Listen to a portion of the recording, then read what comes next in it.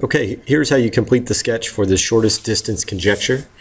We are first going to start with a line and a point that is not on the line. And what this is asking, or what the conjecture states is, how do you know what the shortest distance from this point to this line would be? And so what we're going to do is we're going to construct a segment that goes from this point to this line, and we're going to measure that length.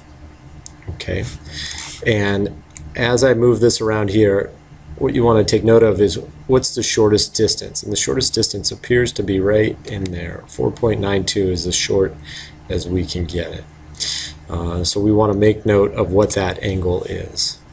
So I'm going to mark this angle and I'm going to measure this angle. And it turns out, and this is part of this is due to rounding, but it turns out that the shortest distance is going to be when um, this angle is at 90 degrees.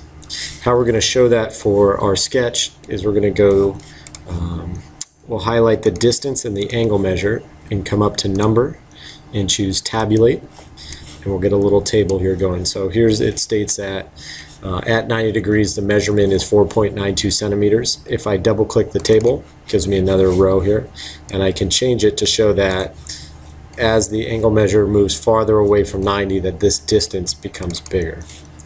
And I can keep moving that out to show that. Something like that. And that is the shortest distance conjecture.